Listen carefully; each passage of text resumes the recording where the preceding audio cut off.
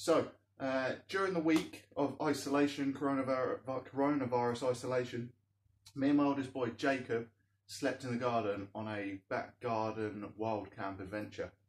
Um, in the morning, he told me that it was cold in the night. Okay, I've shown, shown him how to sleep in the sleeping bag outside before, but I thought what we'll do is now, I might as well do it on a video and show everyone. Okay, so this is uh, all about the fridging effect. Okay, people think that if you get into your sleeping bag with lots of layers on because you're cold, you're outside, you're cold, move away from the fire, you put loads of layers on, you get into your sleeping bag, and you end up being colder.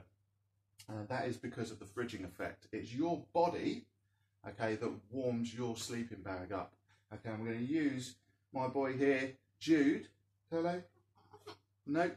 Okay, we're going to use Jude as my little um, guinea pig, okay, experiment for this experiment just to show you. Okay, so you go down to as few layers as possible. So a t-shirt, shorts if you've got them, or just trousers. Some people keep their socks on, take your socks off, your preference. Okay, but no fleeces, um, things like that. You could put a woolly hat on your head. Okay, I need a woolly hat on my head, otherwise I get a cold head.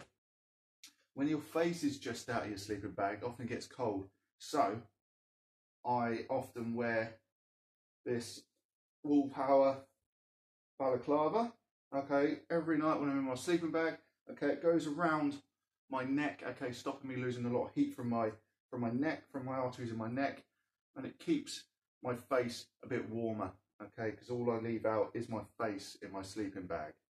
Okay, so I often wear that at night. Okay, so what you need to do also is you need to insulate yourself from the ground, okay? Even on a hot summer's day, at night it's going to be cold on that ground and it's going to suck all that body heat away from you into the ground. You're going to feel a lot colder, okay? So we put a roll mat down or thermarest, something like that. Then we get our sleeping bag. This is a giant adult size, keeping you awake, a giant adult size sleeping bag, but it doesn't matter, we're going to adapt it, okay? When you put your sleeping bag on, Okay, all you need to have out is, legs down there for me, good boy, is your face. Okay, if you put your face inside your sleeping bag because it feels cold to start with, all you'll end up doing is putting moisture. So we use our cord, tie this up nice and tight. Okay, and then look up for me.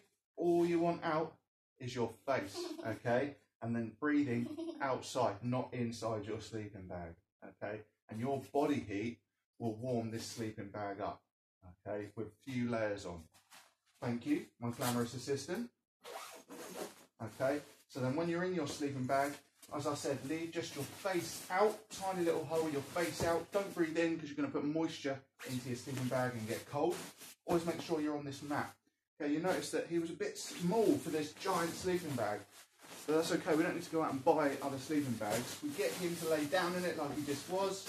Okay, so certain length, and then instead of your body heat, his smaller body size heating up this whole bag, all we can do, or what we need to do, paracord, is we always keep a hank of paracord with you at all times.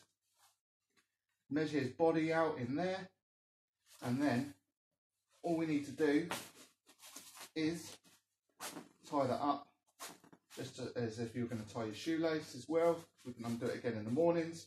Wrap that all around so we don't end up strangling anyone.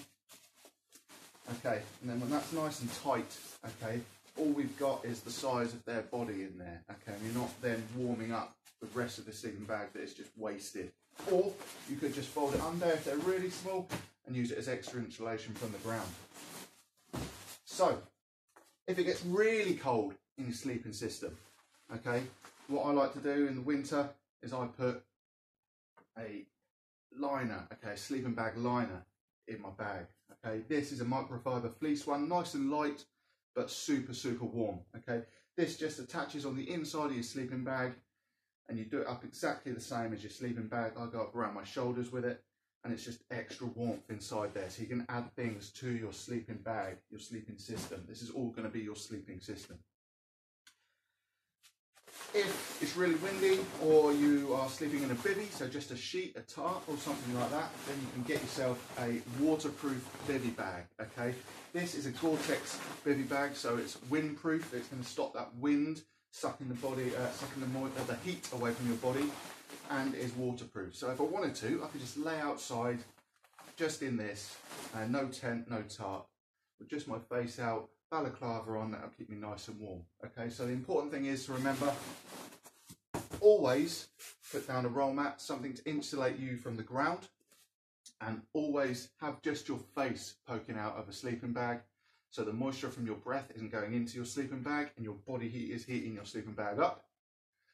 And uh, the fridging effect. So make sure you, you strip down to as fewer layers as possible. T-shirt, trousers or shorts. Uh, don't wrap up before you get in. If you are a bit cold before you get in, do some press-ups, do some squats, get that heart rate going. Okay, once you've got all your sleeping system out and then got into it, your heart rate's up a little bit. That is going to heat your uh, your body temperature is going to be um, warming up, okay, and that's going to heat your sleeping bag up. So always get into your sleeping bag warm, okay, always just have your face out, always sleep on some sort of insulation from the ground, uh, and always layer down as much as you can, okay. Hope that helps, guys. Okay, so enjoy the time you can in the garden or in your living room floor doing a, a garden wild camping or living room wild camping. Okay, until next time, we'll see you later. Say bye.